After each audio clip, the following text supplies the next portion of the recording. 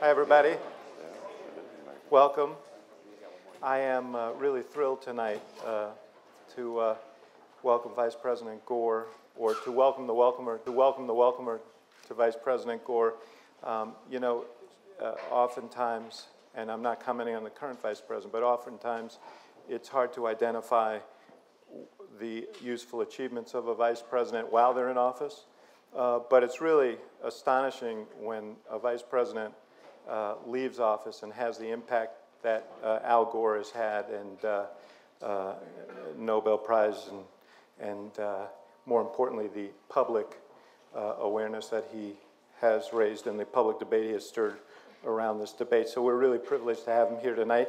And we're privileged to have Nicole Bitler to introduce the Vice President. Nicole's a third year graduate student with a committee on evolutionary biology, seems relevant. Uh, a native uh, of Menlo Park, California, Cole received her BA from Stanford University in the program in human biology in 2011 and then joined the University of Chicago community to pursue research on the consequences of climate change on marine species. As an undergraduate, Nicole spent a quarter in Stanford, uh, at Stanford in Washington working as an intern for Senator Ron Wyden and returned to D.C. to work at the Kaiser Family Foundation on the Affordable Care Act. While in Chicago, Nicole has worked on the uh, Obama for America campaign and at the uh, Council on Global Affairs, and has been a stalwart of the uh, Institute of Politics from its inception, for which we're very grateful. So please uh, welcome Nicole Bitler.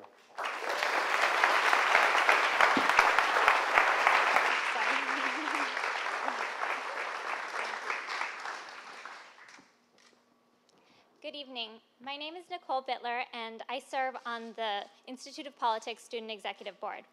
As a graduate student studying the response of species to climate change, I'd like to thank the Institute of Politics for offering so many students like me the opportunity to connect what we learn in the classroom to real-world policies and, and practitioners through events like this one. Tonight we'll hear from Vice President Al Gore in this gorgeous LEED Gold certified building, which was built um, with a commitment to sustainability. For more than 30 years, Vice President Al Gore has been an unrelenting champion for the environment. He has not only brought to light the impacts that climate change will have on our generation and generations to come, but has also proposed actionable solutions to mitigate those impacts.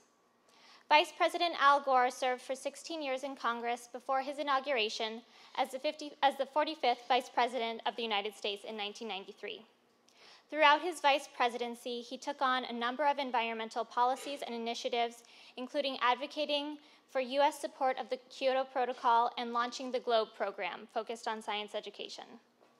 After his time in the White House, he co-founded Generation Investment Management and the Alliance for Climate Protect Protection, which is now the Climate Reality Project, a nonprofit devoted to solving the climate crisis. Also a senior partner at Kleiner Perkins, Caufield and Byers, and a member of Apple's board of directors, Vice President Gore has brought his vast knowledge and passion across sectors and organizations.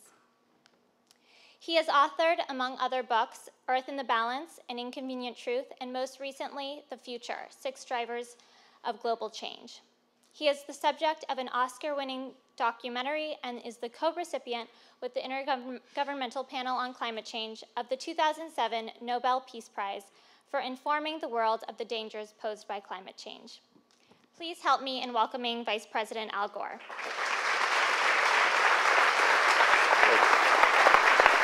Thank you very much, Nicole. Thank you. Thank you very much. Thank you. Thank you. Hey, how are you, Lynn? Nice to see you. Thank you very much, ladies and gentlemen. Thank you for the warm greeting. And good to see my friend Lynn Cutler here. Nicole, thank you for uh, a lovely introduction. And David Axelrod, I don't know where you, there you are. Uh, thank you for inviting me. I can't tell David no, so that's the reason I'm here and uh, I mean all of you all, of course, but uh, I'm particularly happy to be able to, to uh, do this uh, in response to David's introduction. I enjoyed uh, visiting with Steve Edwards uh, earlier, your director of the Institute of Politics, and I look forward to your questions and comments. I'm going to talk for about 35 minutes, and then we're going to do Q&A. So, I asked David how he was feeling about the political situation, and um, he said, "Well, I feel fine," and that uh, didn't help me much. But I, but I, uh, it did remind me of a story uh, that I first heard as a young congressman 30 something years ago in rural Middle Tennessee. I was driving back to my farm after a full day of town hall meetings, and I was listening to the Grand Ole Opry on the car radio. Now, many of you won't know what the Grand Ole Opry is. It's the mother church of country and western music in Nashville, where I live. And back in those days, there was a comedian named Cousin Minnie Pearl. You won't have heard of her either, but uh, she, she played a character, some people have.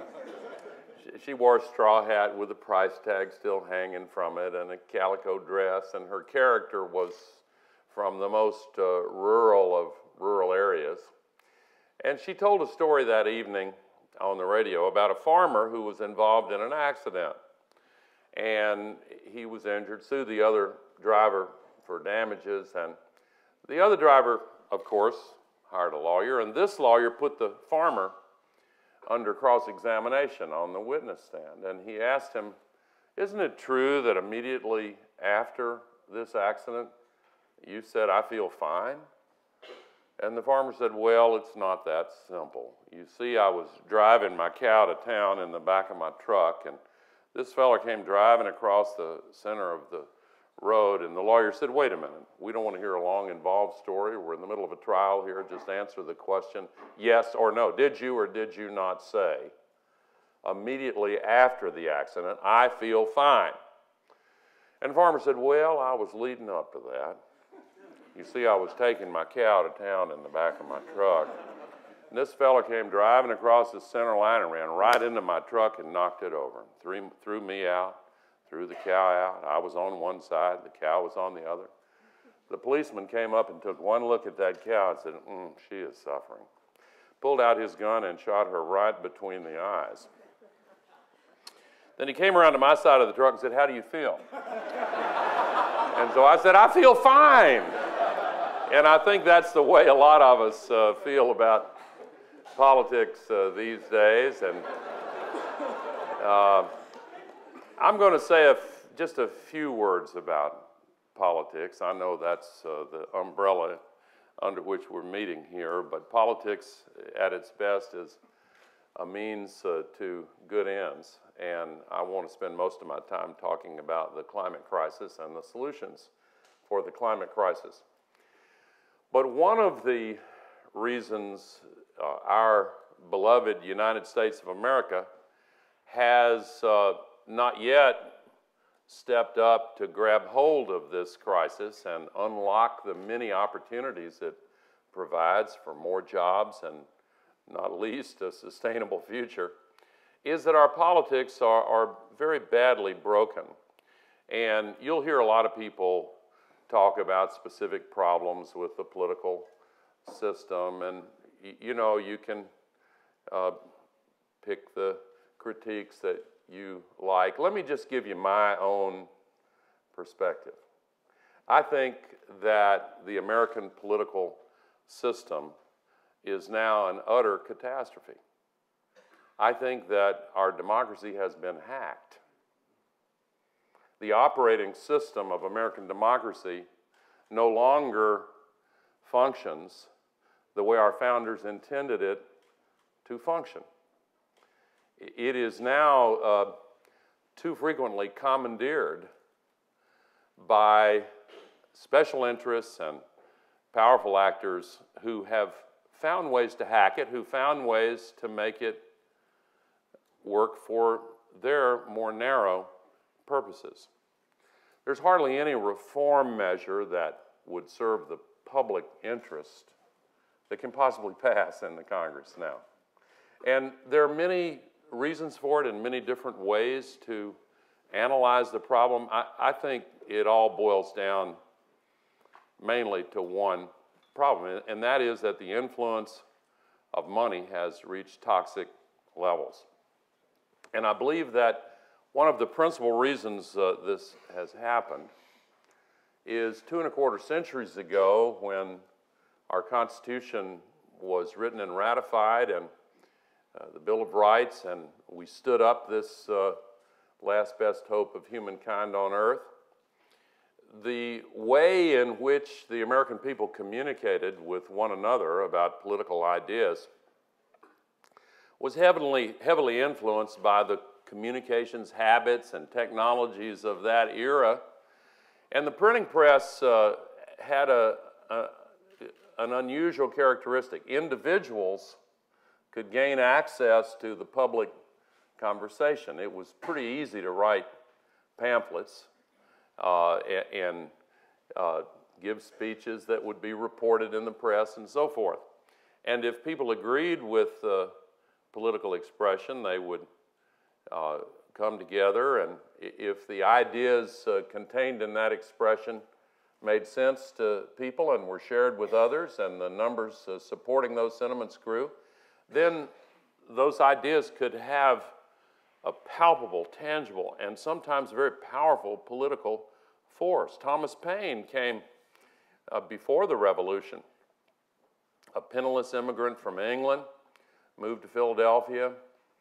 Um, in January of 1776, uh, he walked out his front door in Philadelphia, and there were a dozen low cost print shops within a few blocks. And he published uh, Common Sense, and it became the Harry Potter of the late 18th century. Big audience.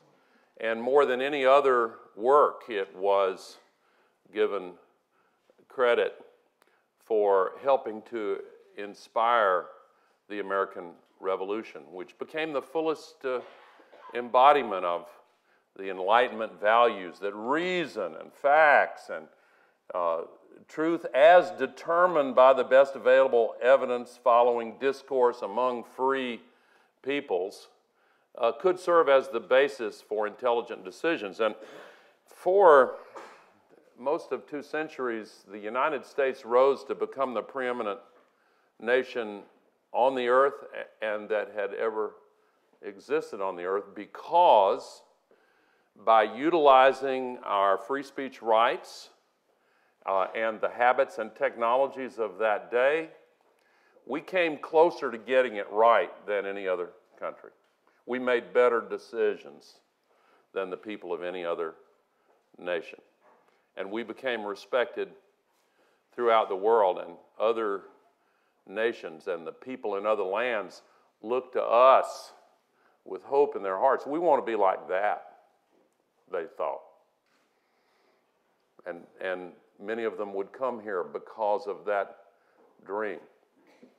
Well, we still have uh, the greatness of America, and the reports of America's decline are widely overstated, but there's no question that we've seen the degrading of our democracy. There are too many examples of where it's just downright pathetic that the, the truth doesn't matter the way it should. I'll give you just one example before I turn to make a segue into the climate issue. You know, the World Health Organization last week put out a very dire warning of a kind that is extremely rare. Uh, only if there's a, a real threatening pandemic do they you know, sound the alarms the way they did last week. So, what was the alarm about last week? The loss of antibiotic effectiveness. Some doctors now warn about an, an antibiotic winter, that is, a post antibiotic uh, age. And I don't want to be alarmist in referring to this, I'm going to use it as an example. They're alarmed about it. So, what are we doing? 80% of the antibiotics used in the United States are fed as a growth stimulant to livestock. and it, in subtherapeutic doses. It's not for the controlling of disease. It's because of something discovered a long time ago that low levels of antibiotics with the same diet will make cattle and pigs and chickens get fatter quicker, which means they'll sell, they'll weigh more pounds and they'll sell for more. Now, the, a lot of the germs that are potentially threatening to human beings live in livestock also. And so we allow the constant, constant subtherapeutic dosing of all these livestock, which makes the bugs, the, the bacteria, immune to the antibiotics. And then it jumps back to people, and the antibiotics won't work against them. So you would think, given those facts, that the public interest would lead people in public office to say, hey, we don't want to lose our arsenal of antibiotics so that a cut on the leg or strep throat would once again become a deadly threat. So obviously, we got to quit this craziness. But no, the Congress is utterly and completely paralyzed, hogtied, you might say, incapable of even considering a measure that will mean life or death for countless numbers years from now, and now for, for some. Why? Well, the influence of, of money is the real reason. When I was uh, driving back to my farm that night, when I heard Minnie Pearl on the radio, that was in an era when there was never a golden era, you know, where everything was just sweetness and light and everything worked perfectly. We know American history. You know better than that. But it used to work better more often than not. But in those days, I remember, for my own part, feeling absolutely thrilled. I mean, really, I don't want to sound corny about it. But when I went to these uh, town hall meetings, I called them open meetings and farmers and shopkeepers and homemakers and uh, factory workers would come. Often, the smaller the community, the bigger the turnout. Uh, and they'd stand up and say, Here's what I think needs to be changed. Here's something I think we need to do differently.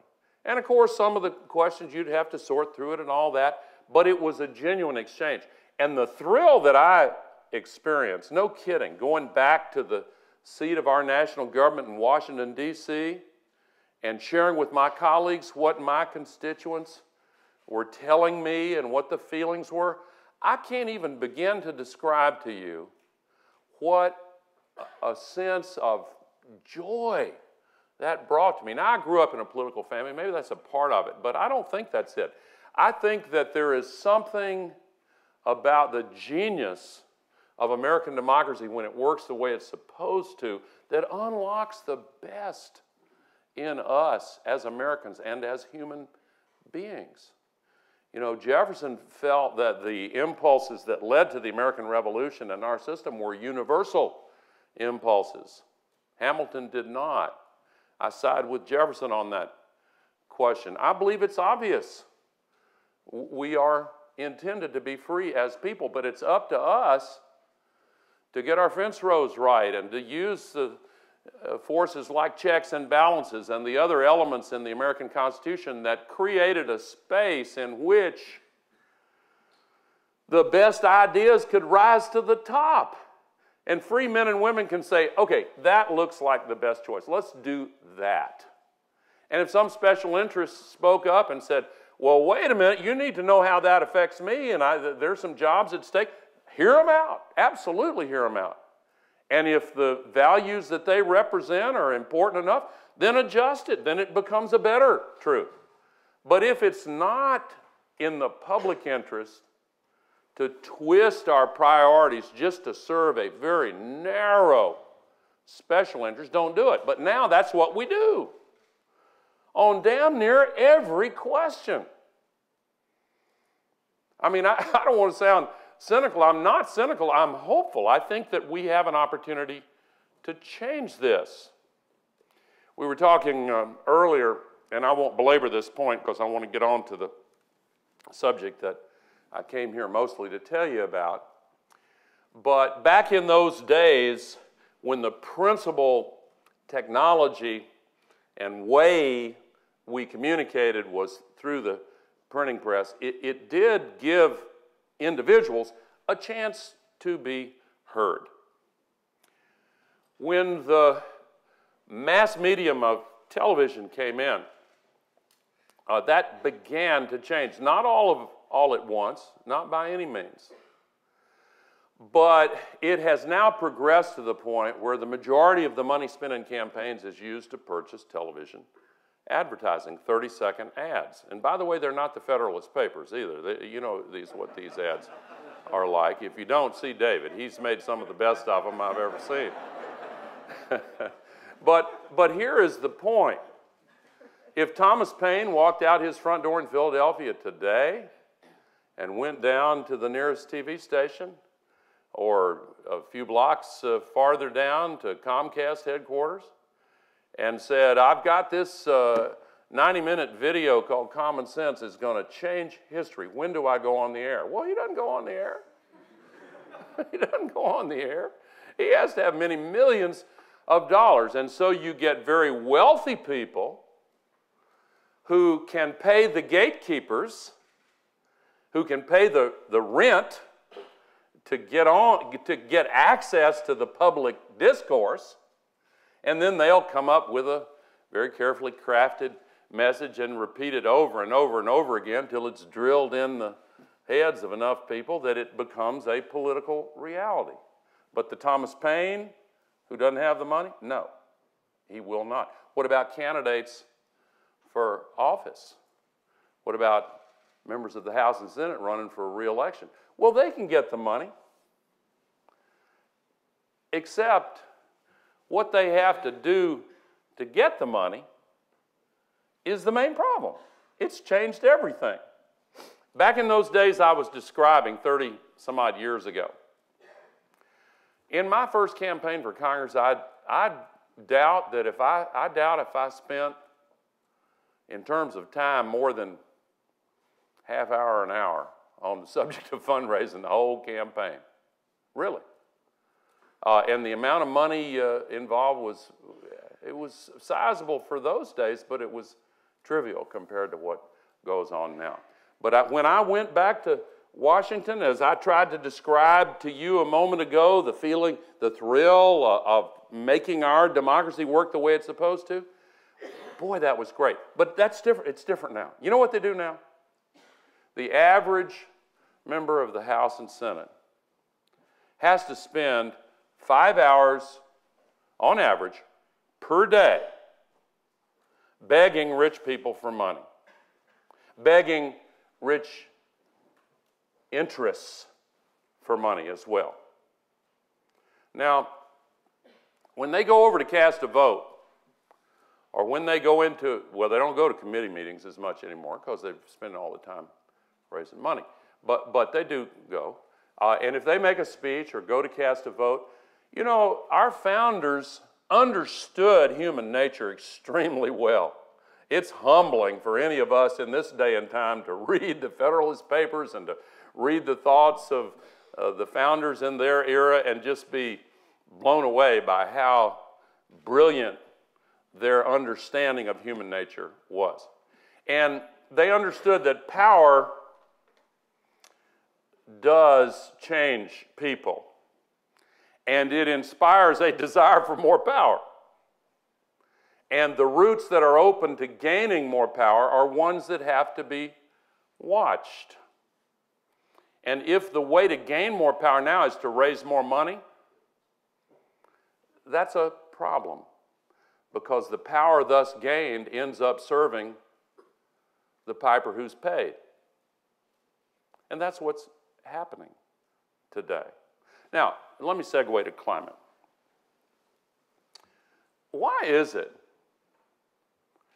that with more than 97% of all the climate scientists in the world in agreement, actually over the last 12 months, they did a new study of all of the peer-reviewed scientific papers on climate in the last 12 months, 99.99% agreed with the consensus. Well, there's still that 0.01% out there. You know, you just never know. Uh, you know, if God forbid you had chest pains and you were somehow magically able to consult with the 10,000 leading heart specialists in the world, and 9,999 of them said, Oh my God, you've got to take this medicine, uh, change your diet, get some exercise, and make these other changes. But out of the 10,000, you found one that said, Well, I don't know yet. The jury's still out. what would you do? Well, you and I, you and I all probably know somebody who we'd fear would take that one's advice. But that's what that's that is uh, what some people are doing on climate now. And of course, uh, the large carbon polluters have a business plan that is threatened by any government decision here or elsewhere in the world to say, you know, um, the way you're using the atmosphere as an open sewer, that, that's got to stop now. Can't do that anymore. We are putting worldwide 90 million tons of global warming pollution into the atmosphere every 24 hours. Uh, just spewing it up there. And you know, the atmosphere is thin. You've seen the pictures from that the astronauts have brought back with the atmosphere edge on. It's just a very thin. If you could drive a car at normal speed straight up in the air, you get to the top of the sky where you couldn't breathe normally anymore in about five to 10 minutes. It's very thin. So 90 million tons a day makes a big difference. And uh, the cumulative amount that's up there, man made global warming pollution, now traps as much extra heat energy every day as would be released by 400,000 Hiroshima class atomic bombs exploded uh, in the Earth's atmosphere every day. Now, it's a big planet. That's a conservative estimate, by the way. I saw you two looking at each other. Could that be right? It is right. Uh, Jim Hansen and his team uh, at NASA, he's left NASA's at Columbia now, but this has been checked and rechecked. It's actually a conservative calculation, but think about that for a minute. I started to say it's a big planet, but that's a lot of energy 400,000 Hiroshima explosions every single day. Well, that is what is heating up the earth, heating up the atmosphere, heating up the oceans, heating up the land. 90% of it goes into the oceans. That comes back out again over time. But the oceans have been warming considerably. You remember Super uh, Hurricane Sandy that hit New York and New Jersey. When that storm came um, from the Atlantic toward New York and New Jersey, the waters over which it passed were nine degrees Fahrenheit warmer than normal. That's where that energy came from. Would have been a hurricane anyway, but it became much more powerful. And the sea level's already higher. You may have seen the report out just this morning on Antarctica and sea level, but I digress. Let me stay with the oceans and these storms. So look at what happened with Hurricane Sandy. You know, um, Nicole uh, mentioned uh, the movie that I uh, was part of a few years ago. The single most criticized uh, passage in that movie was a, uh, a, um, an animation about how the World Trade Center memorial site would be invaded by ocean water. And oh gosh, the, the denialists and uh, skeptics, they, they just said, oh, it's ridiculous. How could that happen? Well, it happened with Sandy ahead of schedule. Uh, have you seen what's been happening in Miami lately? Miami Beach? where uh, in some areas of Miami Beach, people come to work with plastic bags and ties Because even on a bright, sunshiny day, the ocean's coming up uh, and it's ankle deep where they are, are walking now. But in any case, Typhoon Haiyan, Super Typhoon Haiyan, just uh, less than six months ago, when that storm came across the Pacific waters toward the Philippines, the ocean water was five degrees Fahrenheit warmer than normal. So Haiyan became the strongest storm ever to make landfall, as far as they can measure. You know, today there are still 4.1 million homeless refugees in the Philippines in the area hit by that storm. People talk about adapting to this. Yes, we need to adapt as best we can. We need to become more resilient. But let's don't kid ourselves. Those 4 million plus refugees, they've, they've waited a long time already. And you start getting these uh, superstorms coming in, and that's only part of it. The land based rainfall also becomes much, much stronger. Why? Because when the oceans absorb all that heat, they evaporate more water into the atmosphere. And even more importantly than that, the warmer air holds more water. If you take a hot shower in the morning, the mirror above the sink may steam up. If you take a cold shower, it won't. Warmer air holds more moisture. So you get these rivers of water vapor in the sky. And if you think about a bathtub filled with water and you open the drain, the water rushing down the drain doesn't come just from the part of the tub directly above the, the drain, obviously. It comes from the whole tub.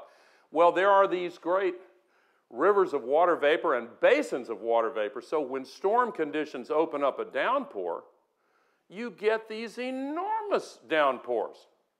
Last week in Pensacola, Florida, did y'all see what happened there? Two feet of rain in 26 hours.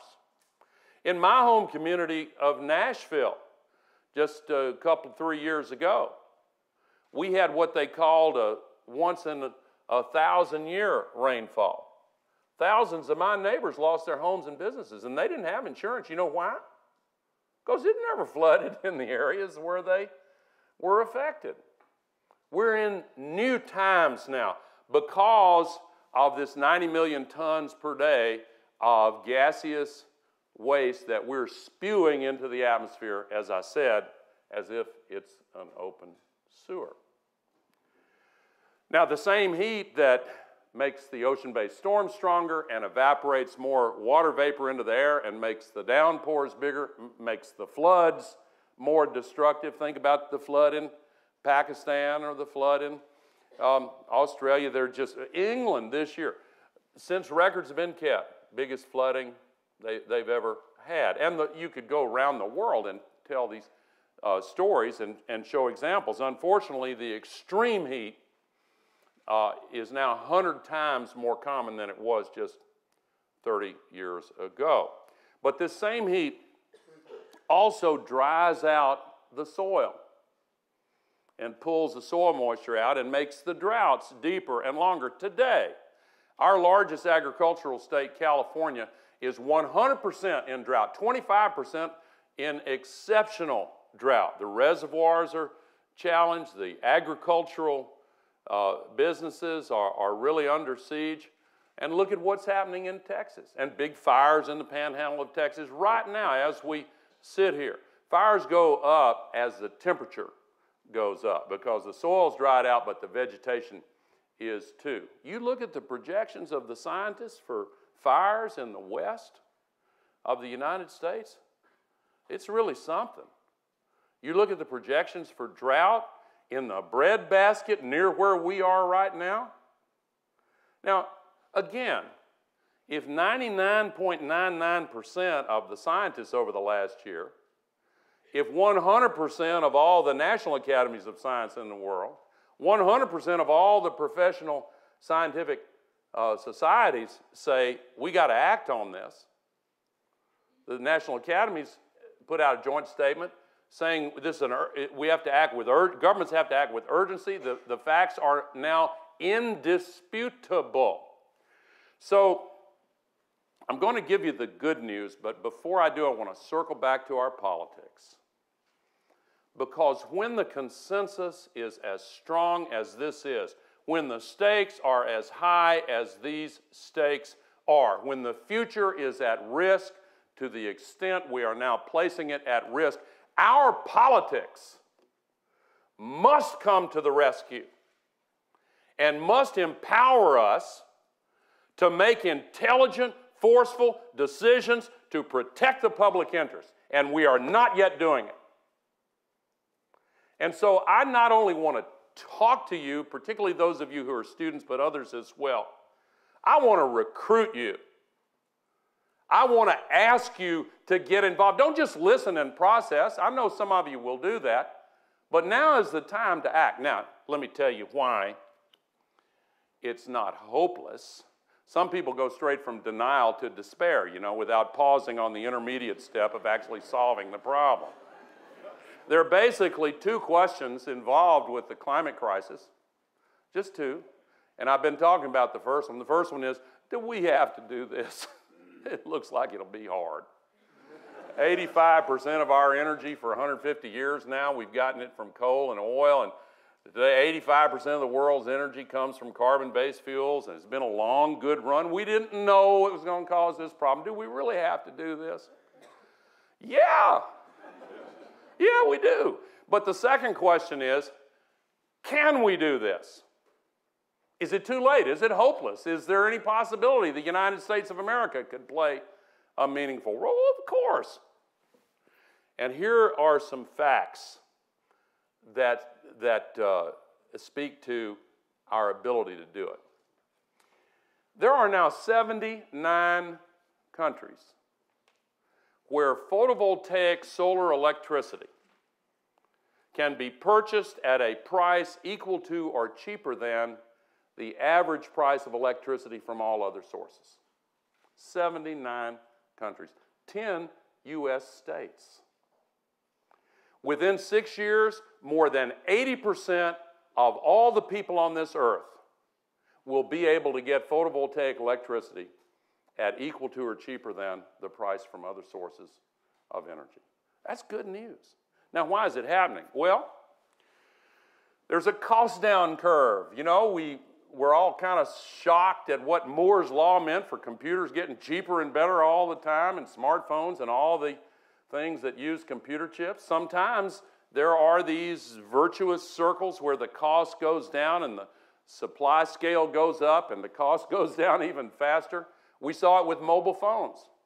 I remember when those first big clunky mobile phones came out. Boy, I thought they were so cool looking. I look back at those pictures now and I think that looks so silly.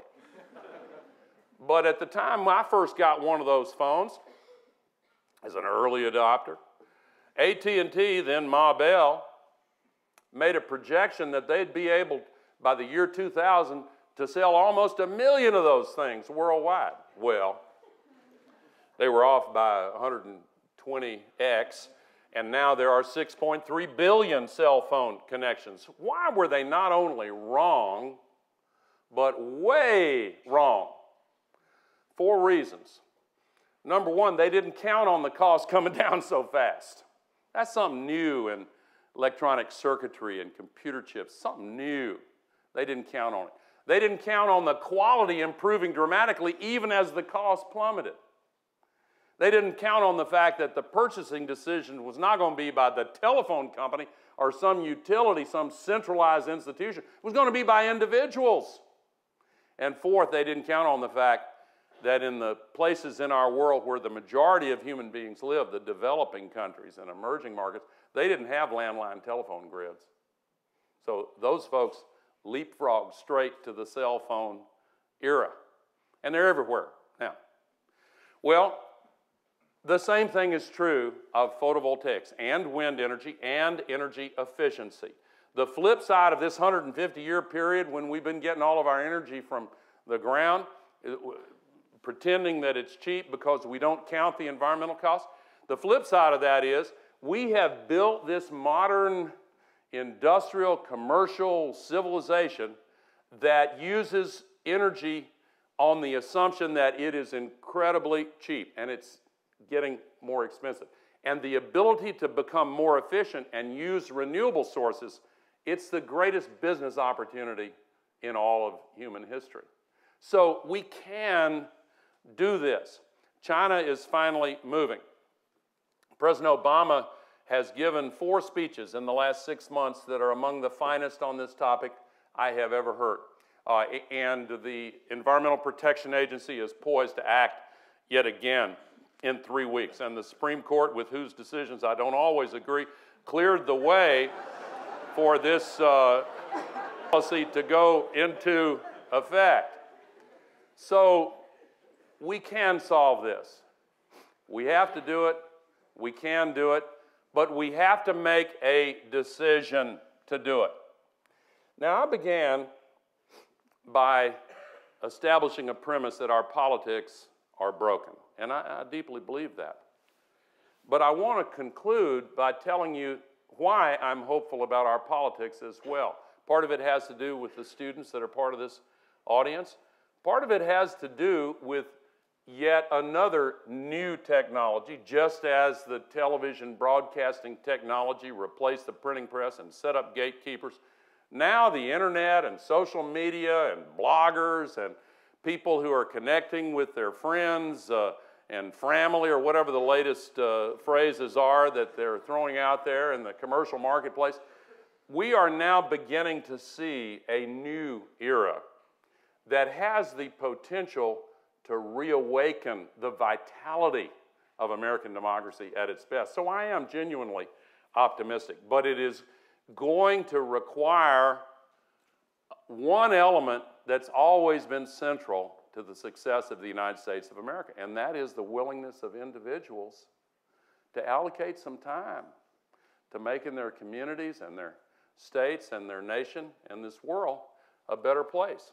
And I dare say that's one of the main reasons why many of the students here are engaged in the Institute of Politics. And I wish you well on this because I mentioned two questions. I'll close with two other questions, only one of which will ever be asked. The generation that is represented by the students here, not too many years from now, certainly not many decades from now, depending on the state of the world in which they find, you find yourselves, one of two questions will be appropriate. If what the scientists have warned us about is not interrupted, and we have stronger storms, deeper droughts, bigger floods, tropical diseases spreading in the temperate latitudes, hundreds of millions of climate refugees, a failure of governance in developing countries, and a loss of hope when people look at their children and just worry about the future, then they would be justified in looking back at us and asking, What were you thinking here? What were you watching Dancing with the Stars? What was the deal here? but if you find yourselves, if those younger than you find themselves in a world that is in the midst of renewal, with solar electricity and wind and efficiency and better, more efficient buildings, and if you can look at your own children in those decades uh, hence and really feel their lives will be better still. I hope that those experiencing those feelings will look back at us and ask, How did you find the courage to make the changes that were necessary? Well, part of the answer will be young people who believed in the political system and were willing to do what's necessary to make it work for the public interest went about doing so. Political will is, in that sense, a renewable resource. Thank you very much. I look forward to your questions. Thank you. Thank you very much.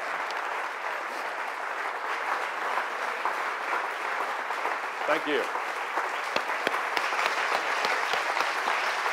Thank you. Thank you.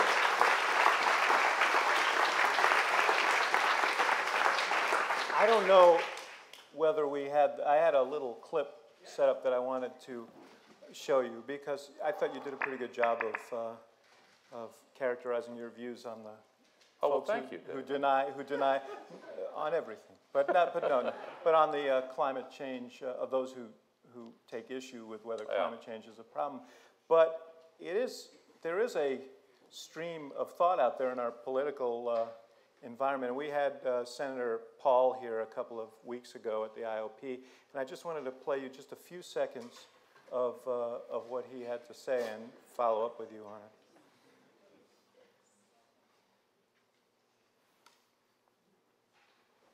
I think that scientific debate should not be dumbed down to politics. And I think this debate has become so dumbed down beyond belief. The Earth is 4.54, 4.6 billion years old. Anybody who's ever studied any geology knows that uh, over periods of time, long periods of time, that the climate changes. Okay? I'm not sure anybody exactly knows why, but we have 20, 30, 100,000 year sort of cycles that go on with the climate. It has been much warmer than it is today. We have, you know, real data about 100 years. So somebody tell me what 100 years data is in an Earth that's 4.6 billion years old. My guess is that you, the conclusions that you make from that are not conclusive. So my first question is, have you studied geology? and Well- uh, the second is, uh, how, how do you respond? Because uh, Senator Rubio said something similar uh, the other day, and uh, I, I think that there's a fair strain in the Republican Party. Perhaps some Democrats from some uh, from some uh, coal states who have the What same would that have of to view. do with it?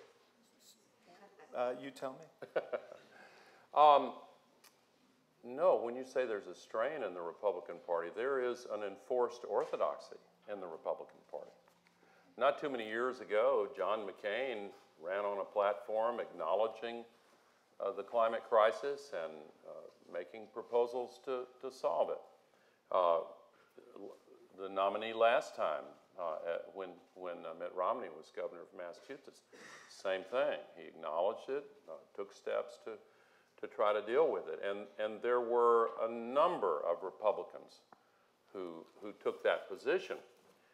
I- I don't think it's particularly complicated uh, why they have all been cowed into abandoning uh, that position they will face primary opponents financed by the Koch brothers and others who are part of their group if they even breathe the slightest breath of uh, sympathy for the truth about uh, climate science. I mean, it's not, it's not really that complicated.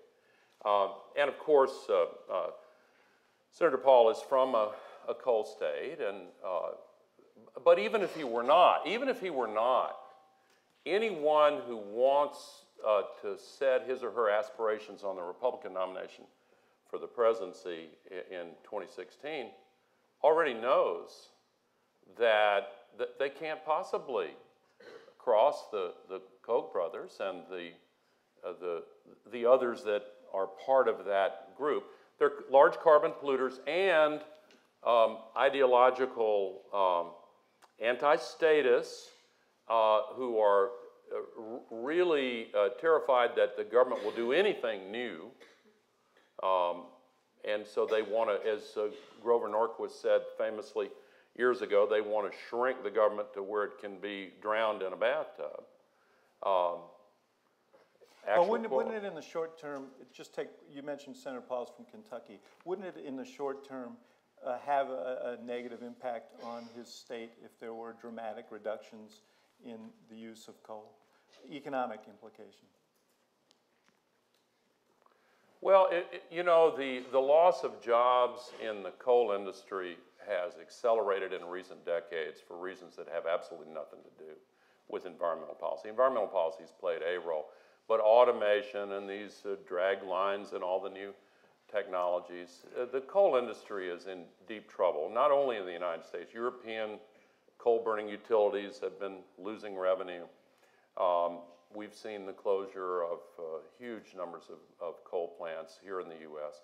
It's true that China and India are still on a trajectory to build more, but not for long. Uh, China just announced a cap and trade program in five provinces and two cities and announced that it will become a nationwide program next year. Uh, they're discussing a CO2 tax. They have banned coal burning in several cities. They're facing political unrest because of what's being called the air apocalypse. You know, the readings, uh, uh, people are uh, moving out of, some people are moving out of Beijing and Shanghai and other heavily polluted cities. So, I, I mean, I think the handwriting's on the wall. Uh, now, where jobs are concerned, there are more jobs in wind in the U.S. than uh, in coal today. And there's, there are going to be millions of new jobs that open up with the, uh, the renewable energy uh, revolution. And you may have seen that some in the Tea Party uh, are now challenging the Koch brothers. Uh, you know, they, they, through ALEC, the American Legislative Exchange Council, uh, who most people here probably know what that is, it's a right wing funded meeting place for conservative state legislators. Uh, they had a push in dozens of states this term to put a tax on anybody who puts a solar panel on his or her roof. They want $100 per household per month in Arizona. They got five, and now Barry Goldwater Jr. is leading a revolt against that. In Georgia, uh, the Tea Party, the Atlanta Tea Party, joined forces with the Sierra Club, created a new group called the Green Tea Party. Uh, and, and, and they're fighting back. And in most of these states, the Koch brothers and, their, and ALEC have not been able to pass this. So, I, you know, I think people see that there are jobs opening up, that there's a better way of life, uh, and I, I, think it's un, I think it's an unstoppable revolution. But in the short term, you, you, you said in your remarks that, you, uh, that we need to have the courage to act. If, in fact, there are no short term economic uh, uh, sacrifices involved, then why is it a courageous thing to act? Because it's in the best interest of the American. No, I understand. People. I know why. No, I understand why you think people should act. But where, where does the courage come in? What I'm suggesting is: is there the not? Are there the not right short? Is there not? Is there not?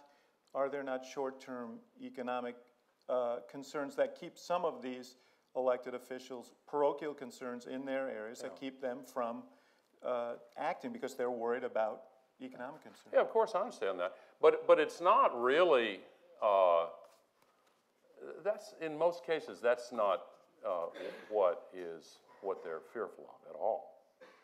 What they're, I mean, the reason that they spend five hours a day raising money from rich people and powerful interests is because the average American watches television five hours a day. Pretty astonishing fact and the, num- and the number of minutes keeps going up year after year. After year. So, most of the political dialogue in America today takes place in, in the, uh, the 30 second commercial space, back and forth. And it's rare for the candidate who has the most money not to, not to win. I mean, if it's close, then, and there are exceptions, you would know better than me, David. But, but uh, uh, in most cases, that's the name of the game. And so what they're worried about is raising the money. And, and if they took, take a, a, a position that's against the, the wishes of the Koch brothers and the group that they stand for, then they know that the pile of money will go to their primary opponent. That's what they're terrified of. So let me follow up on that. The, the Supreme Court that you honored in your remarks also, as, uh, also, also made a judgment about uh, several judgments about campaign finance that have opened the door to oh, yeah, yeah, a, lot, a, lot, of spending. So uh, the democratization that flows from the internet is, is, is one of the answers that you give, and the ability for grassroots organizing. But what other steps do you think can be taken, uh, given the court rulings, to, yeah. to, reverse this trend that you uh, speak of? Well, it's obscene to declare corporations to be people. I mean, come on. That's just. It, let me see a show of hands. There are several corporations. How many? How many people here believe that under the law, corporations should be defined as people? Here's one, two, three. How many? Four. How many people believe they should not be defined as people? Okay, that's pretty. And I may not be a representative. I respect those. Well, a- actually, actually, it kind of it kind of is. It kind of is. Uh, there are better than uh, 80, 85 percent majorities in both political parties on the, on that question. Uh, I, I, mean, it's not a partisan issue. Uh, but to declare corporations as people and money as speech, I mean, I get the argument, I understand it. But what about the health of our democracy? I mean, it's obscene. I'm not quibbling with you, but they've done it. So now what, what is the recourse? Well, I think that, uh, uh, first of all, I think that, that uh, the robustness of internet-based democracy uh, does bring with it a, a lot of hope, regardless of these other trends. Uh, but, but beyond that, my study uh, of this particular uh, issue, set of issues, is, uh, has led me to the uh, unwanted conclusion that really you, you need a constitutional amendment, which I'm very seldom in favor of because it's usually a pipe dream and you, you know, it's a difficult road to take, or a, a, a political effort uh, extending over a long period of time to change the makeup uh, of the court uh, over time. Now, there are laws that can be passed to require more disclosure and more sunlight and more uh, facts about, about who's giving what to whom. Uh, and and uh, that could be done within the constraints of the Supreme Court's decision. Yeah, just, you know, as someone, as you pointed out, uh, that I, I used to do 30-second commercials that were nothing like common sense. But, um, Uh, I, I didn't, if I'd known you were going to take that remark personally, I wouldn't have. I knew that. Uh, I've seen some that were pretty close, David. But they were, they were, they were common, they, I tried to be commonsensical at least. in them. But, um, you know, I can't, I've come to the conclusion, as someone who believes deeply in reform, that I wonder if we can attack campaign finance from the, from the supply side. I wonder if we have to somehow attack it from the demand side, because every time we pass a campaign finance reform, we create this cottage industry Yeah, for yeah. lawyers who find mutations.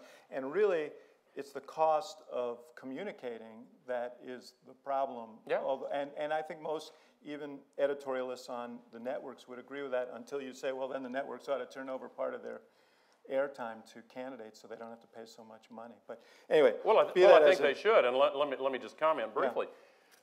when I first ran for Congress in 1976, and every time I have run for the House, the Senate, the, the presidency, uh, I have, in every campaign, uh, taken the position and made it part of my platform that all federal elections should be 100% taxpayer financed. Now, I, I was never even attacked by my opponents on that position because they couldn't get people to believe that I would actually propose such, such a thing.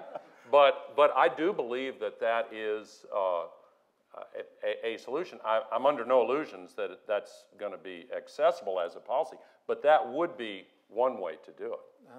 Let me just return to the, the issue of climate. Uh, one of our students asked at a local, at a local level, what are the political decisions that could tangibly improve the environment? At, not at the federal level, but at the local level. Well, uh, there can be zoning on the efficiency of, uh, of buildings. Uh, there, there can be uh, changes to facilitate the installation of photovoltaic uh, panels.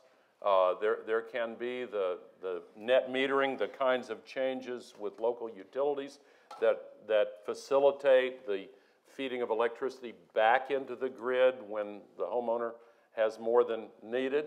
Uh, and some localities and some states do this, some do not. But this is a revolution that's coming, David. It, the, here, here are the gross numbers. And people hear these numbers and they think that can't be true, but it is true. Again, this is a conservative calculation. The amount of energy coming to the earth from the sun in one hour exceeds the amount of energy used by the entire world in a full year. So, as we become more efficient at converting that energy into usable electricity and bring the cost down with the casings and the installation and the capital models, the financing, then it's, it's going to change everything. It may well be that within 10 years or so, we will see energy price deflation. Some economists are now predicting this because of the, the Moore's Law cost down curve from PV. It's going to be that big of a change. Are the EPA's new rules on coal enough to push developing nations to act on emissions? And what else can the administration do without Congress?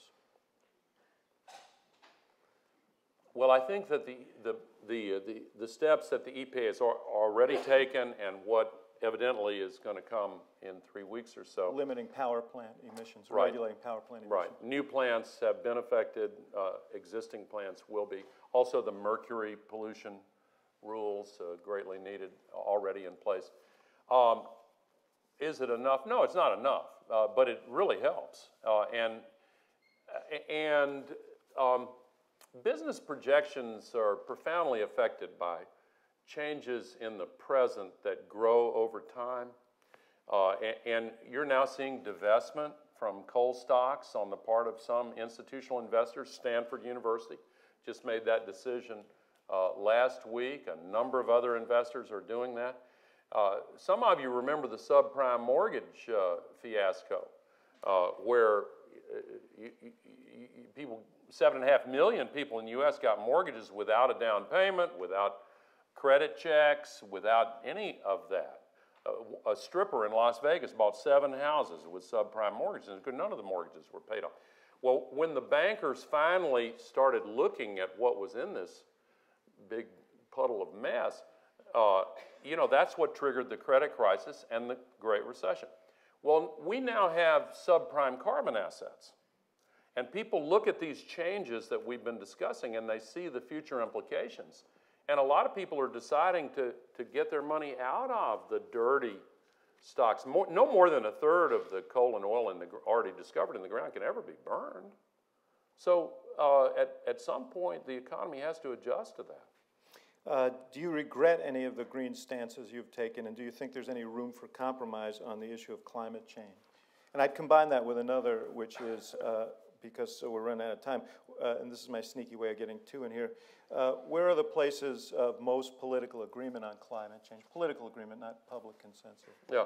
Um, well, first of all, uh, I'm sure that if I took the time to go back over all the positions that I've taken, I would be able to come up with a list of positions that I, in the fullness of time, would wish that I had uh, made differently. I think first generation ethanol is a good example where I, I thought that uh, that was going to be uh, a, a, a good part of a solution for the transportation fuel.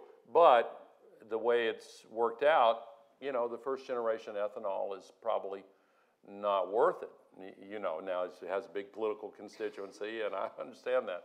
But uh, th there would be other examples as well. Uh, but now, when you say, is there uh, a way to, to compromise?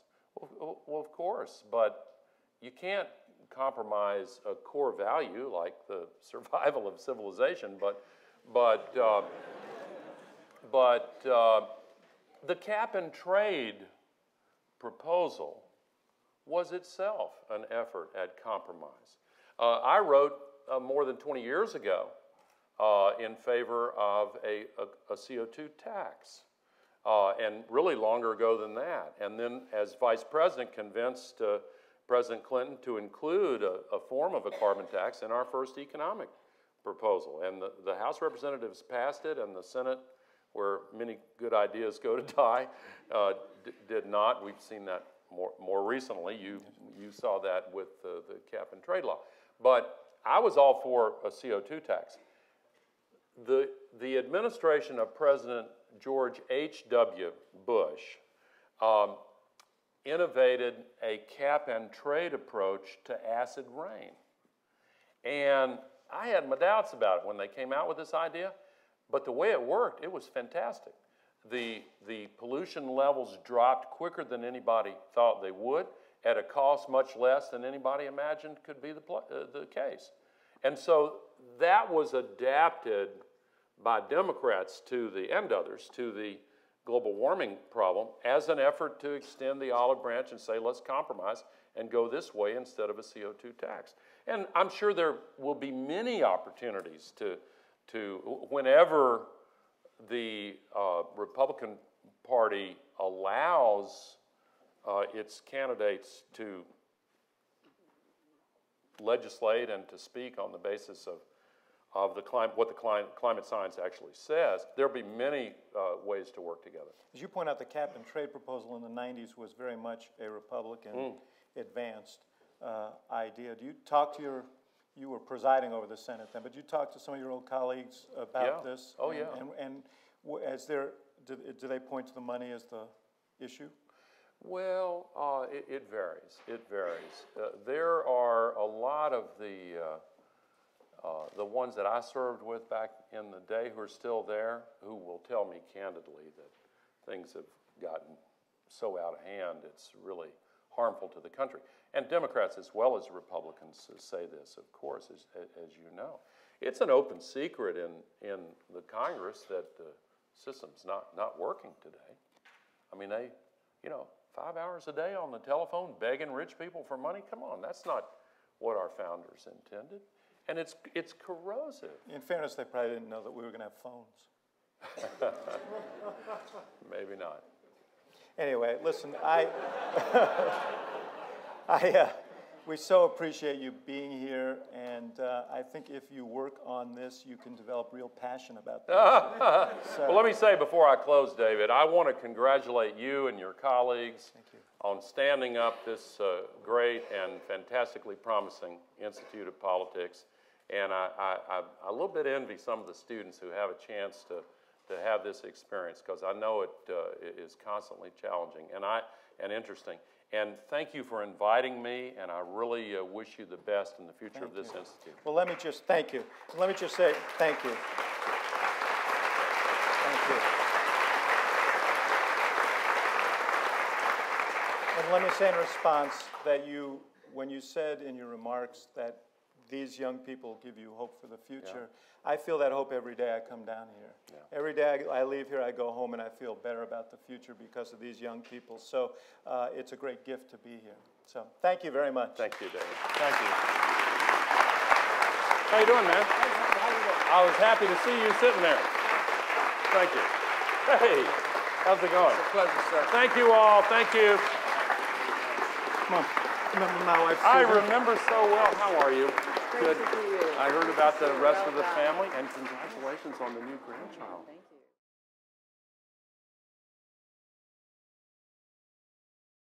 century. Big audience.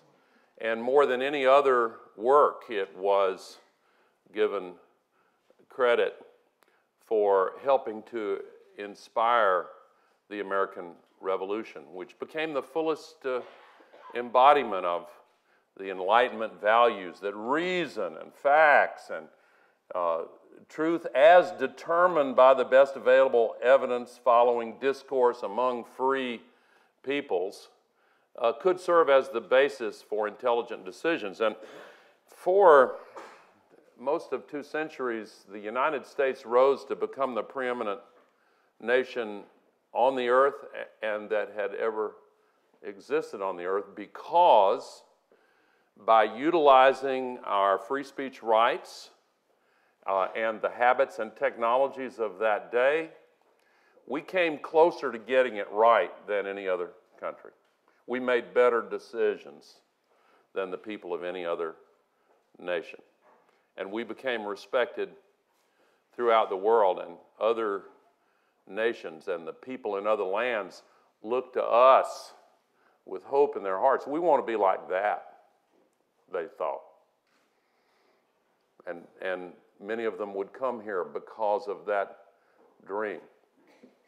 Well, we still have uh, the greatness of America, and the reports of America's decline are widely overstated, but there's no question that we've seen the degrading of our democracy.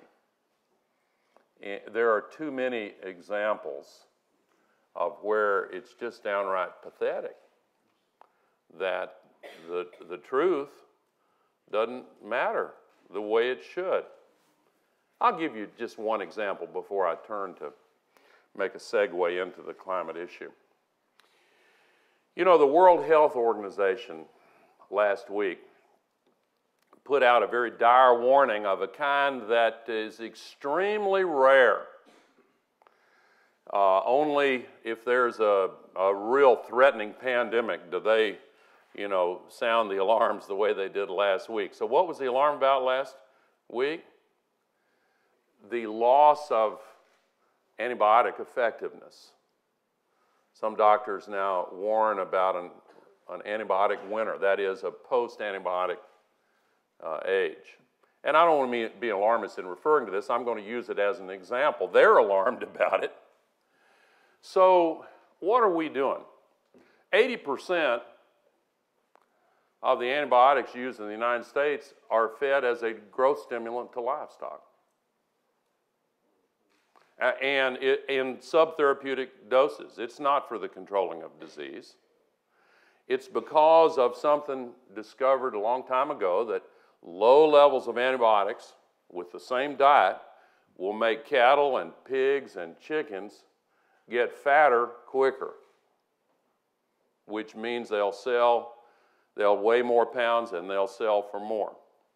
Now, the, a lot of the germs that are potentially threatening to human beings live in livestock also.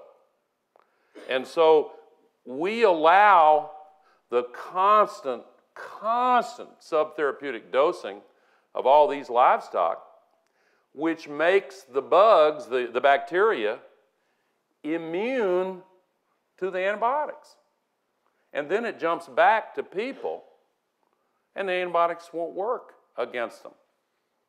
So you would think, given those facts, that the public interest would lead people in public office to say, hey, we don't want to lose our arsenal of antibiotics so that a cut on the leg or strep throat would once again become a deadly threat.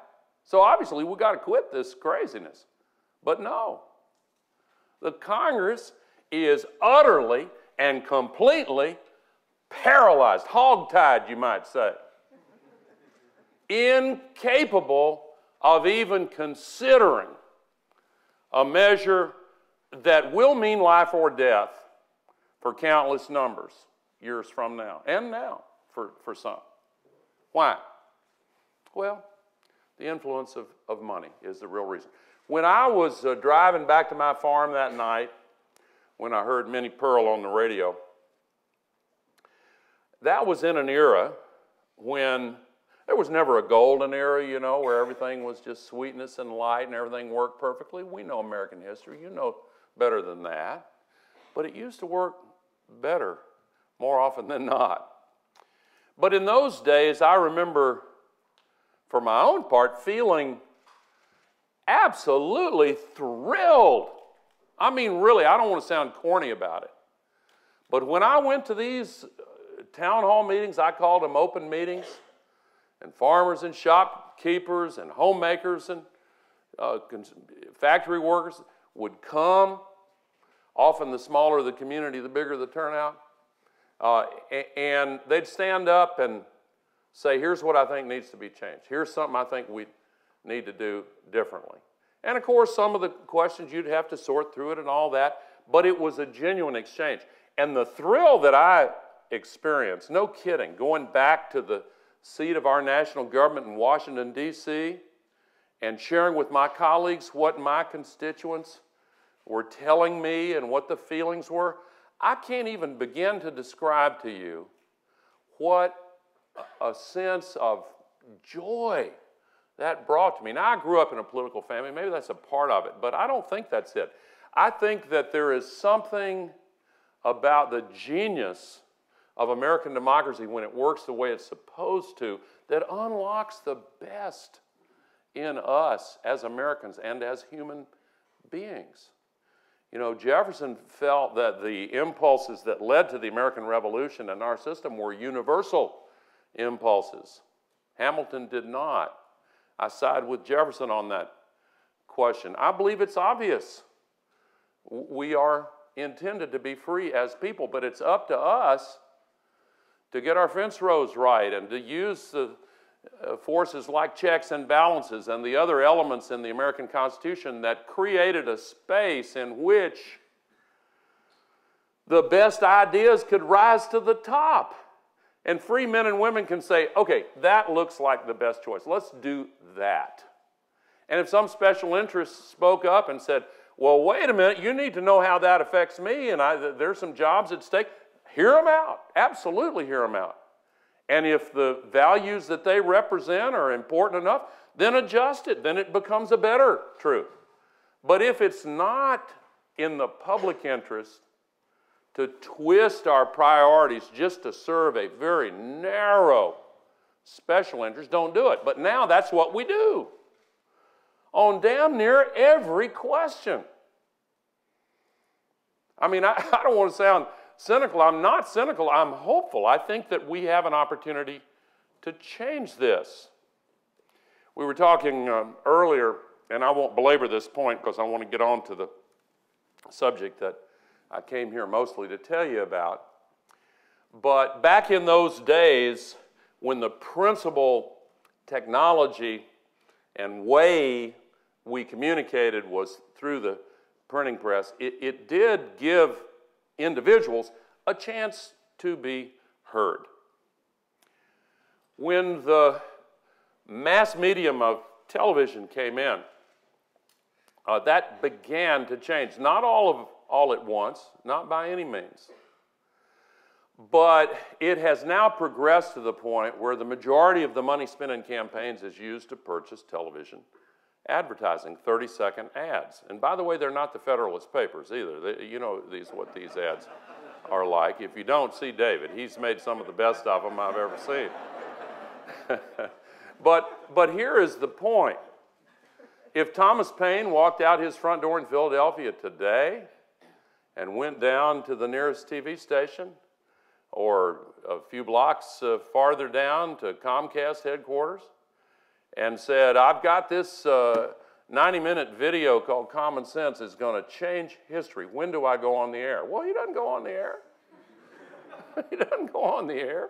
He has to have many millions of dollars. And so you get very wealthy people who can pay the gatekeepers, who can pay the, the rent to get on to get access to the public discourse and then they'll come up with a very carefully crafted message and repeat it over and over and over again till it's drilled in the heads of enough people that it becomes a political reality.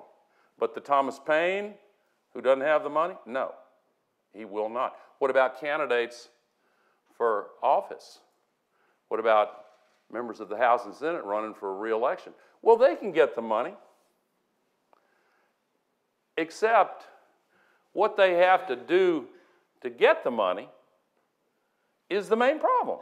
It's changed everything. Back in those days I was describing 30 some odd years ago, in my first campaign for Congress, I, I doubt that if I, I doubt if I spent, in terms of time, more than half hour an hour on the subject of fundraising the whole campaign. Really. Uh, and the amount of money uh, involved was, it was sizable for those days, but it was trivial compared to what goes on now. But I, when I went back to Washington, as I tried to describe to you a moment ago, the feeling, the thrill uh, of making our democracy work the way it's supposed to, boy, that was great. But that's different. It's different now. You know what they do now? The average member of the House and Senate has to spend five hours on average per day begging rich people for money, begging rich interests for money as well. Now, when they go over to cast a vote, or when they go into, well, they don't go to committee meetings as much anymore because they spend all the time raising money. But, but they do go. Uh, and if they make a speech or go to cast a vote, you know, our founders understood human nature extremely well. It's humbling for any of us in this day and time to read the Federalist Papers and to read the thoughts of uh, the founders in their era and just be blown away by how brilliant their understanding of human nature was. And they understood that power does change people and it inspires a desire for more power. And the routes that are open to gaining more power are ones that have to be watched. And if the way to gain more power now is to raise more money, that's a problem because the power thus gained ends up serving the piper who's paid. And that's what's happening today. Now, let me segue to climate. Why is it that with more than 97% of all the climate scientists in the world in agreement, actually, over the last 12 months, they did a new study of all of the peer reviewed scientific papers on climate in the last 12 months. 99.99% agreed with the consensus. Well, there's still that 0.01% out there. You know, you just never know. Uh, you know, if God forbid you had chest pains and you were somehow magically able to consult with the 10,000 leading heart specialists in the world, and 9,999 of them said, Oh my God, you've got to take this medicine, uh, change your diet, get some exercise, and make these other changes. But out of the 10,000, you found one that said, Well, I don't know yet. The jury's still out. what would you do? Well, you and I, you and I all probably know somebody who we'd fear would take that one's advice. But that's what that's that is uh, what some people are doing on climate now.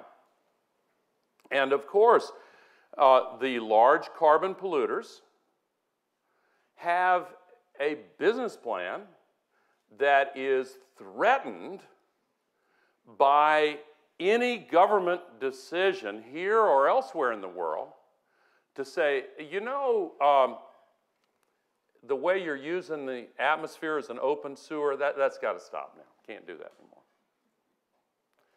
We are putting worldwide 90 million tons of global warming pollution into the atmosphere every 24 hours.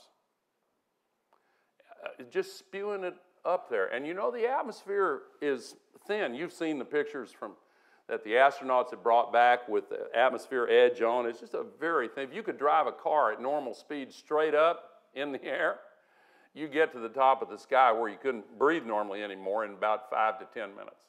It's very thin. So 90 million tons a day makes a big difference.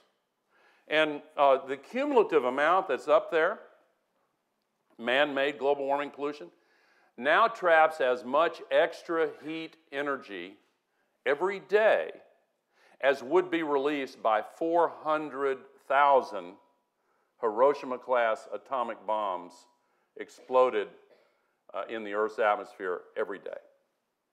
Now, it's a big planet. That's a conservative estimate, by the way. I saw you two looking at each other. Could that be right? It is right. Uh, Jim Hansen and his team uh, at NASA, he's left NASA's at Columbia now, but this has been checked and rechecked. It's actually a conservative calculation, but think about that for a minute. I started to say it's a big planet, but that's a lot of energy 400,000 Hiroshima explosions every single day. Well, that is what is heating up the earth, heating up the atmosphere, heating up the oceans, heating up the land. 90% of it goes into the oceans. That comes back out again over time, but the oceans have been warming considerably. You remember Super uh, Hurricane Sandy that hit New York and New Jersey? When that storm came um,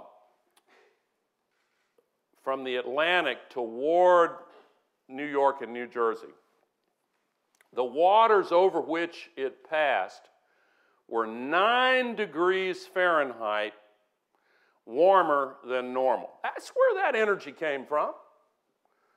Would have been a hurricane anyway, but it became much more powerful.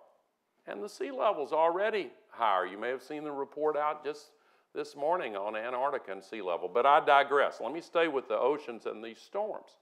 So look at what happened with Hurricane Sandy.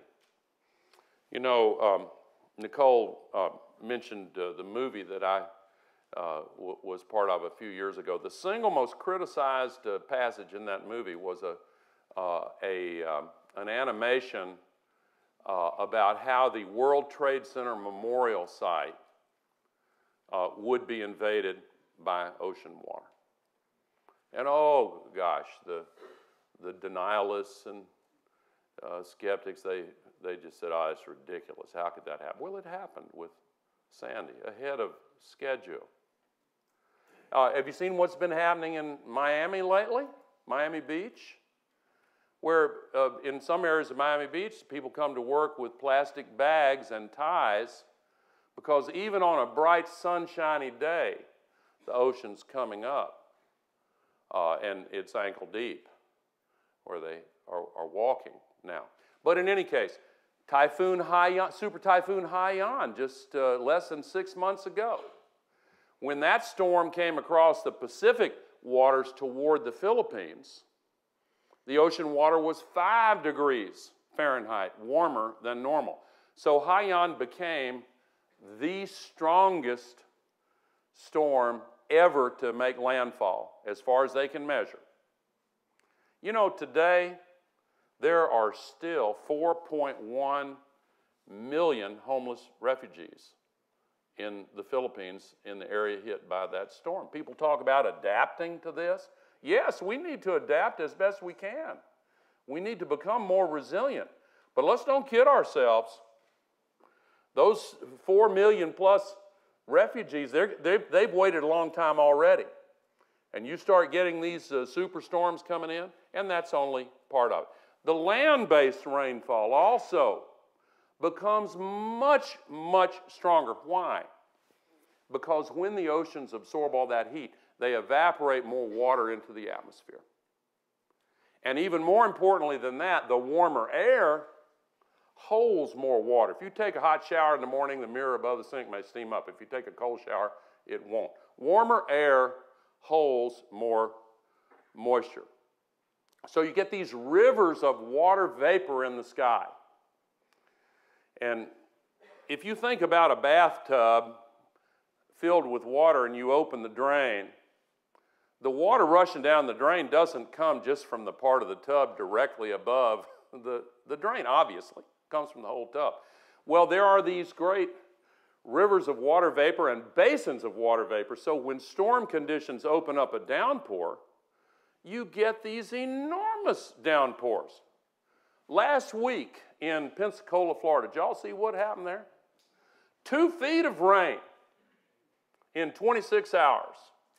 In my home community of Nashville, just a couple, three years ago, we had what they called a once in a, a thousand year rainfall.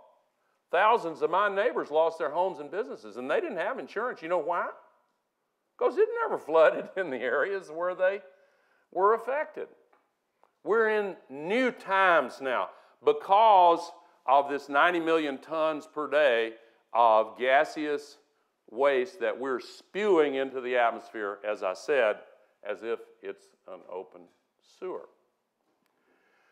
Now, the same heat that makes the ocean based storm stronger and evaporates more water vapor into the air and makes the downpours bigger, makes the floods more destructive. Think about the flood in Pakistan or the flood in um, Australia. They're just, England this year, since records have been kept, biggest flooding they, have ever had. And the, you could go around the world and tell these uh, stories and, and show examples. Unfortunately, the extreme heat uh, is now 100 times more common than it was just 30 years ago.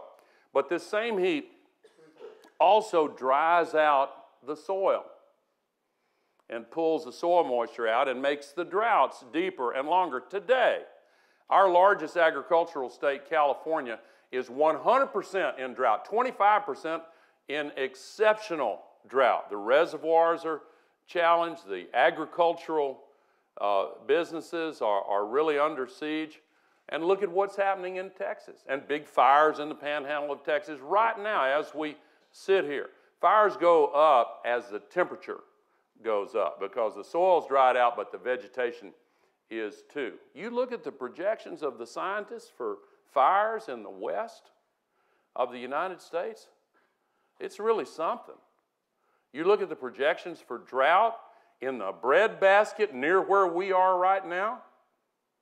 Now, again, if 99.99% of the scientists over the last year, if 100% of all the national academies of science in the world, 100% of all the professional scientific uh, societies say we got to act on this, the national academies put out a joint statement saying this is an, we have to act with governments have to act with urgency. The, the facts are now indisputable.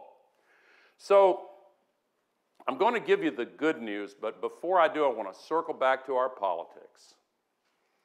Because when the consensus is as strong as this is, when the stakes are as high as these stakes are, when the future is at risk to the extent we are now placing it at risk, our politics must come to the rescue and must empower us to make intelligent, forceful decisions to protect the public interest. And we are not yet doing it. And so I not only want to talk to you, particularly those of you who are students, but others as well. I want to recruit you. I want to ask you. Uh, and of course, uh, uh, Senator Paul is from a, a coal state, and uh, but even if he were not, even if he were not, anyone who wants uh, to set his or her aspirations on the Republican nomination for the presidency in 2016 already knows that, that they can't possibly cross the, the Koch brothers and the, uh, the, the others that are part of that group. They're large carbon polluters and um, ideological um, anti-statists uh, who are uh, really uh, terrified that the government will do anything new. Um, and so they want to, as uh, Grover Norquist said famously years ago, they want to shrink the government to where it can be drowned in a bathtub. Um, well, wouldn't, wouldn't it in the short term, just take, you mentioned Senator Pauls from Kentucky, wouldn't it in the short term uh, have a, a, negative impact on his state if there were dramatic reductions in the use of coal? Economic implication. Well, it, it, you know, the, the loss of jobs in the coal industry has accelerated in recent decades for reasons that have absolutely nothing to do with environmental policy. Environmental policies played a role, but automation and these uh, drag lines and all the new technologies, uh, the coal industry is in deep trouble, not only in the United States. European coal burning utilities have been losing revenue. Um, we've seen the closure of uh, huge numbers of, of coal plants here in the U.S. It's true that China and India are still on a trajectory to build more, but not for long. Uh, China just announced a cap and trade program in five provinces and two cities and announced that it will become a nationwide program next year. Uh, they're discussing a CO2 tax. They have banned coal burning in several cities, they're facing political unrest because of what's being called the air apocalypse. You know, the readings, uh, uh, people are uh, moving out of, some people are moving out of Beijing and Shanghai and other heavily polluted cities. So, I, I mean, I think the handwriting's on the wall. Uh, now, where jobs are concerned, there are more jobs in wind in the U.S. than uh, in coal today. And there's, there are going to be millions of new jobs that open up with the, uh, the renewable energy uh, revolution. And you may have seen that some in the Tea Party uh, are now challenging the Koch brothers. Uh, you know, they, they, through ALEC, the American Legislative Exchange Council, uh, who most people here probably know what that is, it's a right wing funded meeting place for conservative state legislators. Uh, they had a push in dozens of states this term to put a tax on anybody who puts a solar panel on his or her roof. They want $100 per household per month in Arizona. They got five, and now Barry Goldwater Jr. is leading a revolt against that. In Georgia, uh, the Tea Party, the Atlanta Tea Party, joined forces with the Sierra Club, created a new group called the Green Tea Party. Uh, and, and, and they're fighting back. And in most of these states, the Koch brothers and, their, and ALEC have not been able to pass this. So, you know, I think people see that there are jobs opening up, that there's a better way of life, uh, and I, I, think it's un, I think it's an unstoppable revolution. But in the short term, you, you, you said in your remarks that you, uh, that we need to have the courage to act. If, in fact, there are no short-term economic uh, sacrifices involved, then why is it a courageous thing to act? because it's in the best interest of the American No, I understand, I know why, no, I understand why you think people should act, but where, where does the courage come in? What I'm suggesting is, is there courage not, are there the not right short, is there not, is there not, are there not short-term economic uh, concerns that keep some of these elected officials, parochial concerns in their areas that keep them from uh, acting because they're worried about economic concerns? Yeah, of course, I understand that. But, but it's not really, uh, that's, in most cases, that's not uh, what is, what they're fearful of at all. What they're, I mean, the reason that they spend five hours a day raising money from rich people and powerful interests is because the average American watches television five hours a day. Pretty astonishing fact. And the, num- and the number of minutes keeps going up year after year. After year. So, most of the political dialogue in America today takes place in, in the, uh, the 30 second commercial space, back and forth. And it's rare for the candidate who has the most money not to, not to win. I mean, if it's close, then, and there are exceptions, you would know better than me, David. But, but uh, uh, in most cases, that's the name of the game. And so what they're worried about is raising the money. And, and if they took, take a, a, a position that's against the, the wishes of the Koch brothers and the group that they stand for, then they know that the pile of money will go to their primary opponent. That's what they're terrified of. So let me follow up on that. The, the Supreme Court that you honored in your remarks also, as, uh, also, also made a judgment about, uh, several judgments about campaign finance that have opened the door to Oh, yeah, yeah, a, lot, a lot of spending. So uh, the democratization that flows from the internet is, is, is one of the answers that you give, and the ability for grassroots organizing. But what other steps do you think can be taken, uh, given the court rulings, to, Yeah. to reverse this trend that you uh, speak of? Well, it's obscene to declare corporations to be people. I mean, come on. That's just, it, let me see a show of hands. There are several corporations. How many, how many people here believe that under the law, corporations should be defined as people? Here's one, two, three. How many, four? How many people believe they should not be defined as people? Okay. That's pretty, and I May not be a representative. I respect those. Well, actually, actually, it kind of it kind of is. It kind of is. Uh, there are better than uh, 80, 85 percent majorities in both political parties on the, on that question. Uh, I, I- mean, it's not a partisan issue. Uh, but to declare corporations as people and money as speech, I mean, I get the argument. I understand it.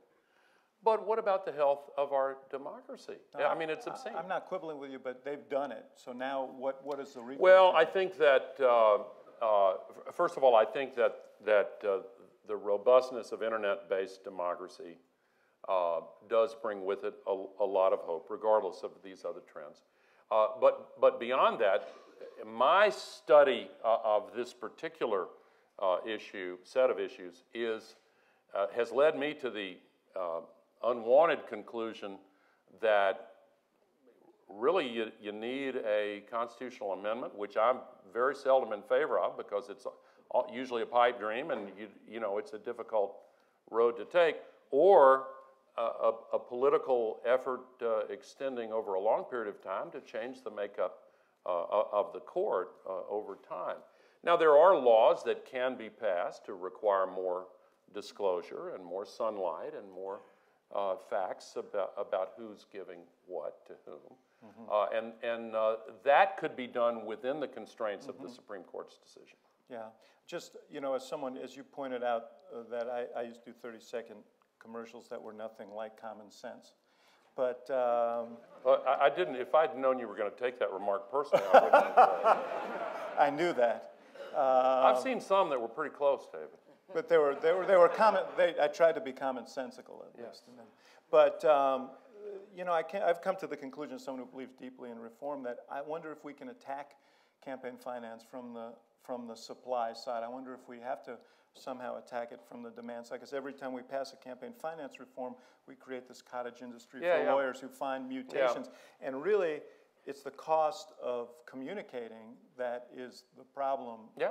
And, and I think most, even editorialists on the networks would agree with that until you say, well, then the networks ought to turn over part of their airtime to candidates so they don't have to pay so much money. But anyway, Well, I, be well, I think they should, and let, let me, let me just comment briefly.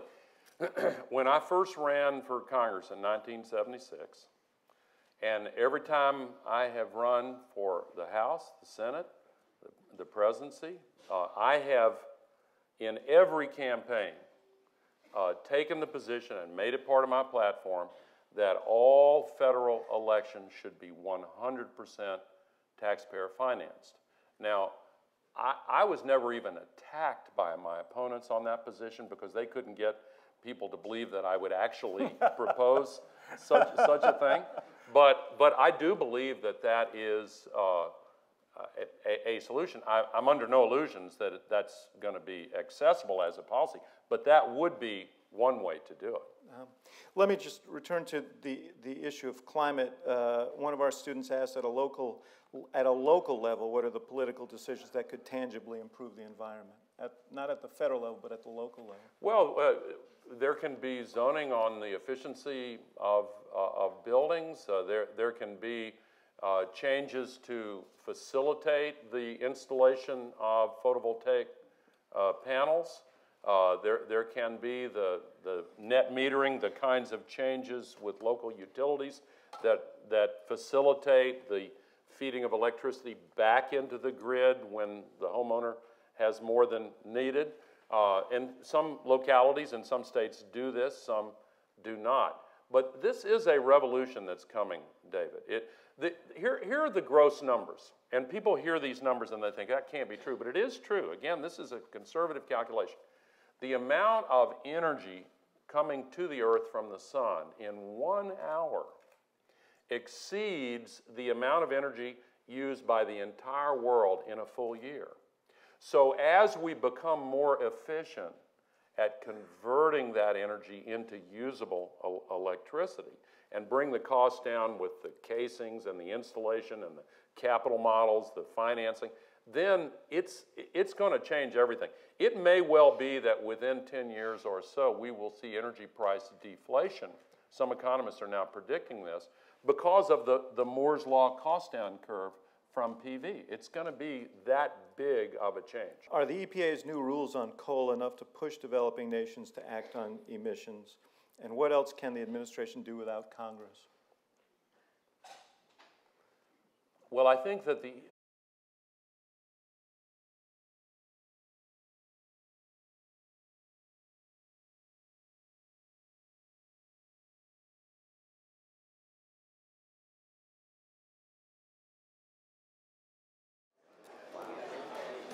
Hi, everybody. Welcome. I am uh, really thrilled tonight uh, to uh, welcome Vice President Gore, or to welcome the welcomer, to welcome the welcomer to Vice President Gore. Um, you know, uh, oftentimes, and I'm not commenting on the current Vice President, but oftentimes it's hard to identify the useful achievements of a vice president while they're in office. Uh, but it's really astonishing when a vice president uh, leaves office and has the impact that uh, Al Gore has had and uh, uh, Nobel Prize and, and uh, more importantly, the public uh, awareness that he has raised and the public debate he has stirred around this debate. So we're really privileged to have him here tonight. And we're privileged to have Nicole Bittler uh, to introduce the Vice President. Nicole's a third year graduate student with a Committee on Evolutionary Biology, seems relevant. Uh, a native uh, uh, of Menlo Park, California, Nicole received her BA from Stanford University in the program in human biology in 2011 and then joined the University of Chicago community to pursue research on the consequences of climate change on marine species. As an undergraduate, Nicole spent a quarter in Stanford, uh, at Stanford in Washington working as an intern for Senator Ron Wyden and returned to DC to work at the Kaiser Family Foundation on the Affordable Care Act. While in Chicago, Nicole has worked on the uh, Obama for America campaign and at the uh, Council on Global Affairs and has been a stalwart of the uh, Institute of Politics from its inception, for which we're very grateful. So please uh, welcome Nicole Bittler.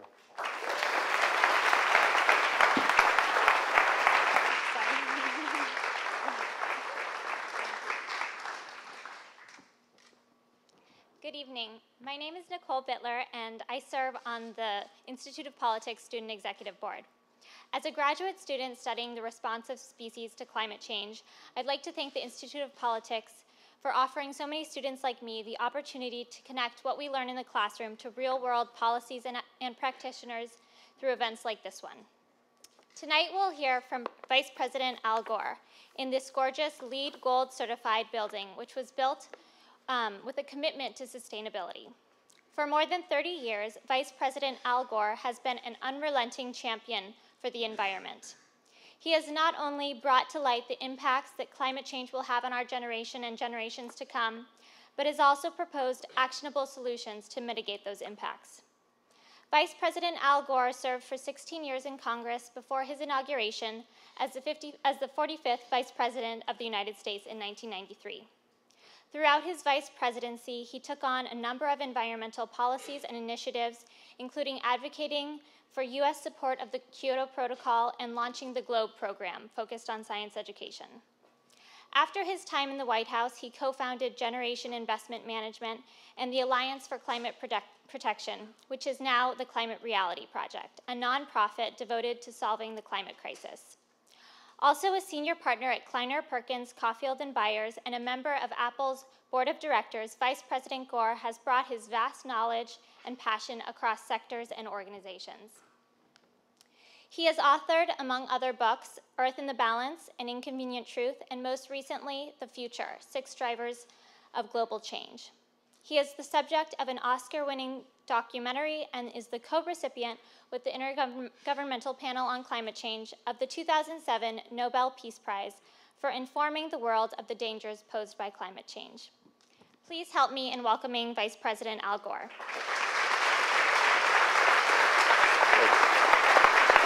Thank you very much, Nicole. Thank you. Thank you very much. Thank you. Thank you. How are you, Lynn? Nice to see you. Thank you very much, ladies and gentlemen. Thank you for the warm greeting. And good to see my friend Lynn Cutler here. Nicole, thank you for uh, a lovely introduction. And David Axelrod, I don't know where you, there you are. Uh, thank you for inviting me. I can't tell David no, so that's the reason I'm here. and uh, I mean, all of you all, of course, but uh, I'm particularly happy to be able to, to uh, do this uh, in response to David's introduction. I enjoyed uh, visiting with Steve Edwards earlier, your director of the Institute of Politics, and I look forward to your questions and comments. I'm going to talk for about 35 minutes, and then we're going to do uh, Q&A. So uh, I asked David how he was feeling about the political situation, and um, he said, well, I feel fine. And that uh, didn't help me much, but I, but I, uh, it did remind me of a story uh, that I first heard as a young congressman 30 something years ago in rural Middle Tennessee. I was driving back to my farm after a full day of town hall meetings, and I was listening to the Grand Ole Opry on the car radio. Now, many of you won't know what the Grand Ole Opry is. It's the mother church of country and western music in Nashville, where I live. And back in those days, there was a comedian named Cousin Minnie Pearl. You won't have heard of her either, but uh, she she played a character, some people have. She wore a straw hat with a price tag still hanging from it and a calico dress, and her character was from the most uh, rural of rural areas. And she told a story that evening on the radio about a farmer who was involved in an accident. And he was injured, sued the other driver for damages. And the other driver, of course, hired a lawyer. And this lawyer put the farmer under cross examination on the witness stand. And he asked him, Isn't it true that immediately after this accident, you said, I feel fine? And the farmer said, Well, it's not that simple. You see, I was driving my cow to town in the back of my truck, and this fella came driving across the center of the road, and the lawyer said, Wait a minute, we don't want to hear a long, involved story. We're in the middle of a trial here. Just answer the question yes or no. Did you or did you not say, immediately after the accident, I feel fine? And the farmer said, Well, I was leading up to that. You see, I was taking my cow to town in the back of my truck. And this fella came driving across the center line and ran right into my truck and knocked it over. Threw, threw me out, threw the cow out. I was on one side, the cow was on the other. The policeman came up and took one look at that cow and said, mm, She is suffering. Pulled out his gun and shot her right between the eyes. Then he came around to my side of the truck and said, How do you feel? and so I said, I feel fine. And I think that's the way a lot of us uh, feel about politics uh, these days. And uh, I'm going to say just a few words about politics. I know that's uh, the umbrella under which we're meeting here, but politics at its best is a means uh, to good ends. And I want to spend most of my time talking about the climate crisis and the solutions for the climate crisis. But one of the reasons uh, our beloved United States of America has uh, not yet stepped up to grab hold of this crisis and unlock the many opportunities it provides for more jobs and not least a sustainable future, is that our politics are, are very badly broken. And you'll hear a lot of people talk about specific problems with the political system. And, you know, you can uh, pick the critiques that you like. Let me just give you my own perspective. I think that the American political system is now an utter catastrophe. I think that our democracy has been hacked the operating system of American democracy no longer functions the way our founders intended it to function. It is now uh, too frequently commandeered by special interests and powerful actors who have found ways to hack it, who found ways to make it work for their more narrow purposes.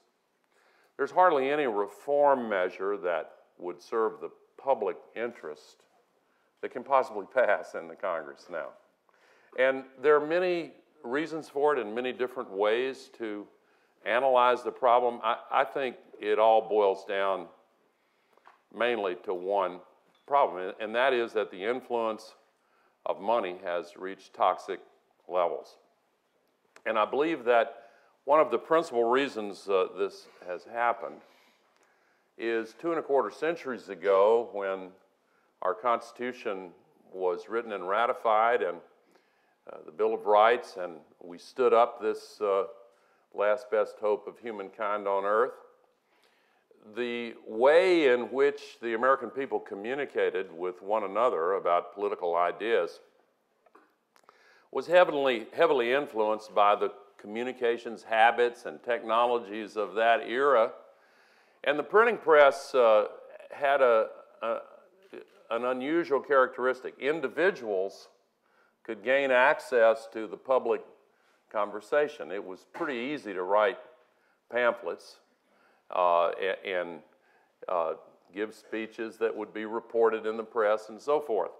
And if people agreed with uh, political expression, they would uh, come together, and if the ideas uh, contained in that expression made sense to people and were shared with others, and the numbers uh, supporting those sentiments grew, then those ideas could have a palpable, tangible, and sometimes very powerful political force. Thomas Paine came uh, before the revolution, a penniless immigrant from England, moved to Philadelphia.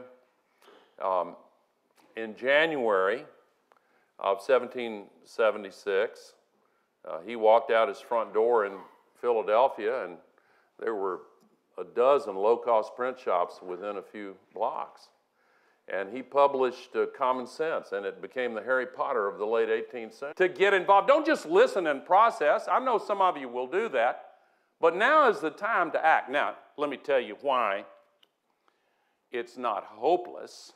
Some people go straight from denial to despair, you know, without pausing on the intermediate step of actually solving the problem. There are basically two questions involved with the climate crisis, just two. And I've been talking about the first one. The first one is do we have to do this? it looks like it'll be hard. 85% of our energy for 150 years now, we've gotten it from coal and oil. And today, 85% of the world's energy comes from carbon based fuels. And it's been a long, good run. We didn't know it was going to cause this problem. Do we really have to do this? Yeah. Yeah, we do. But the second question is can we do this?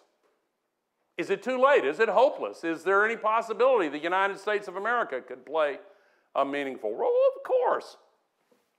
And here are some facts that, that uh, speak to our ability to do it.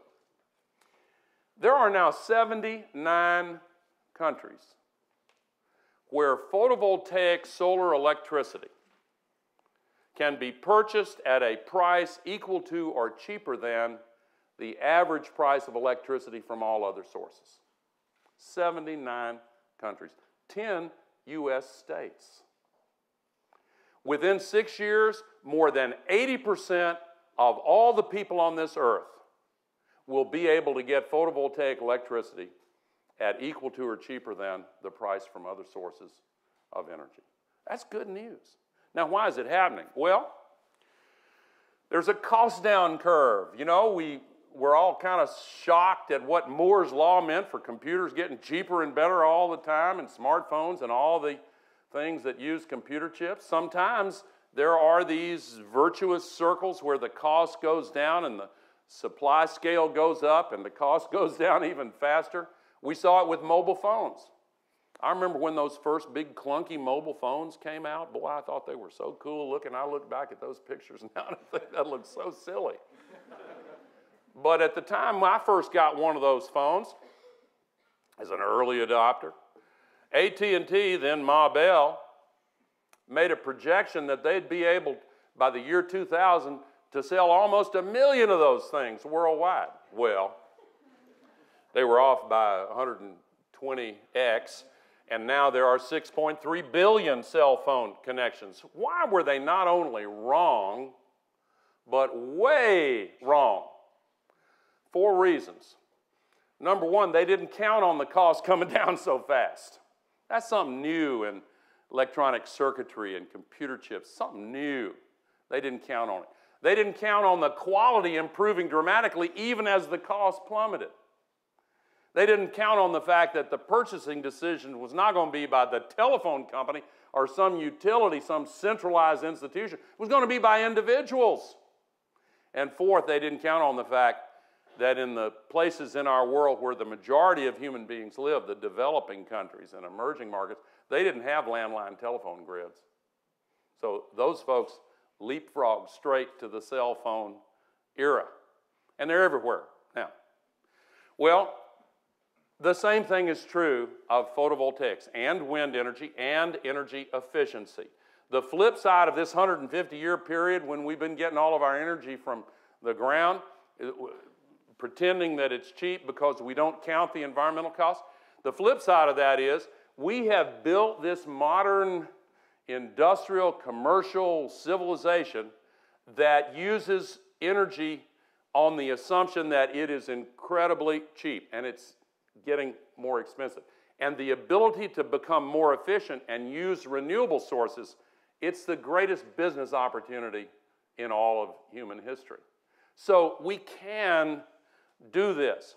China is finally moving. President Obama has given four speeches in the last six months that are among the finest on this topic I have ever heard. Uh, and the Environmental Protection Agency is poised to act yet again in three weeks. And the Supreme Court, with whose decisions I don't always agree, cleared the way for this uh, policy to go into effect. So we can solve this. We have to do it. We can do it. But we have to make a decision to do it. Now, I began by establishing a premise that our politics are broken. And I, I deeply believe that. But I want to conclude by telling you why I'm hopeful about our politics as well. Part of it has to do with the students that are part of this audience. Part of it has to do with yet another new technology, just as the television broadcasting technology replaced the printing press and set up gatekeepers. Now, the internet and social media and bloggers and people who are connecting with their friends uh, and family, or whatever the latest uh, phrases are that they're throwing out there in the commercial marketplace, we are now beginning to see a new era that has the potential to reawaken the vitality of American democracy at its best. So I am genuinely optimistic, but it is going to require one element that's always been central to the success of the United States of America, and that is the willingness of individuals to allocate some time to making their communities and their states and their nation and this world a better place. And I dare say that's one of the main reasons why many of the students here are engaged in the Institute of Politics. And I wish you well on this because I mentioned two questions. I'll close with two other questions, only one of which will ever be asked.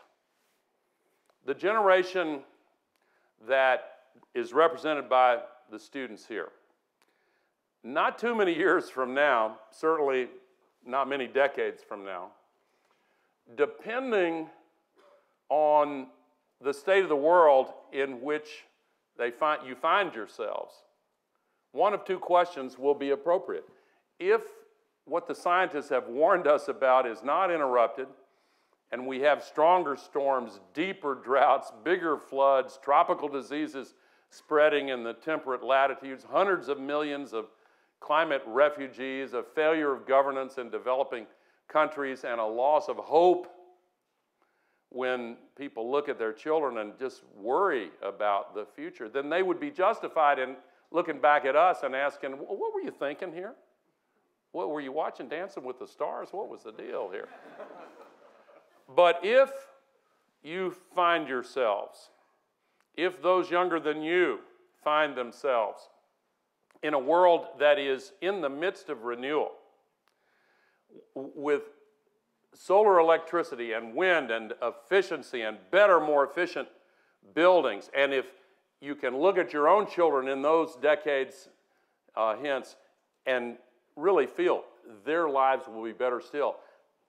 I hope that those experiencing those feelings will look back at us and ask, How did you find the courage to make the changes that were necessary? Well, part of the answer will be young people who believed in the political system and were willing to do what's necessary to make it work for the public interest went about doing so. Political will is, in that sense, a renewable resource. Thank you very much. I look forward to your questions. Thank you. Thank you very much.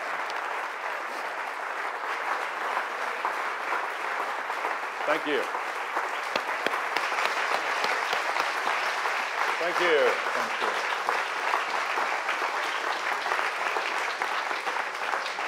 I don't know whether we had, I had a little clip set up that I wanted to show you because I thought you did a pretty good job of, uh, of characterizing your views on the Oh, well, folks thank who, you, who deny who deny uh, on everything, but not but no, but on the uh, climate change uh, of those who who take issue with whether Yeah. climate change is a problem. But it is, there is a stream of thought out there in our political uh, environment. We had uh, Senator Paul here a couple of weeks ago at the IOP, and I just wanted to play you just a few seconds of, uh, of what he had to say and follow up with you on it.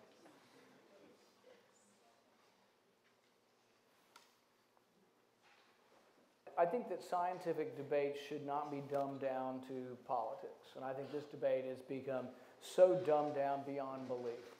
The Earth is 4.54, 4.6 billion years old. Anybody who's ever studied any geology knows that uh, over periods of time, long periods of time, that the climate changes. Okay? I'm not sure anybody exactly knows why, but we have 20, 30, 100,000 year sort of cycles that go along with the climate. It has been much warmer than it is today. We have, you know, real data about 100 years. So somebody tell me what 100 years data is in an Earth that's 4.6 billion years old. My guess is that you, the conclusions that you make from that are not conclusive. So my first question is, have you studied geology? and Well- uh, the second is, uh, how, how do you respond? Because uh, Senator Rubio said something similar uh, the other day, and uh, I, I think that there's a fair strain in the Republican Party. Perhaps some Democrats from some uh, from some uh, coal states who have the What would that point have of to view. do with it? Uh, you tell me. Um, no, when you say there's a strain in the Republican Party, there is an enforced orthodoxy in the Republican Party. Not too many years ago, John McCain ran on a platform acknowledging uh, the climate crisis and uh, making proposals to, to solve it. Uh, the nominee last time, at- when, when uh, Mitt Romney was governor of Massachusetts, same thing. He acknowledged it, uh, took steps to, to try to deal with it. And, and there were a number of Republicans who, who took that position. I- I don't think it's particularly complicated uh, why they have all been cowed into abandoning uh, that position. They will face primary opponents financed by the Koch brothers and others who are part of their group. If they even breathe the slightest breath of uh, sympathy for the truth about uh, climate science, I mean, it's not, it's not really that complicated.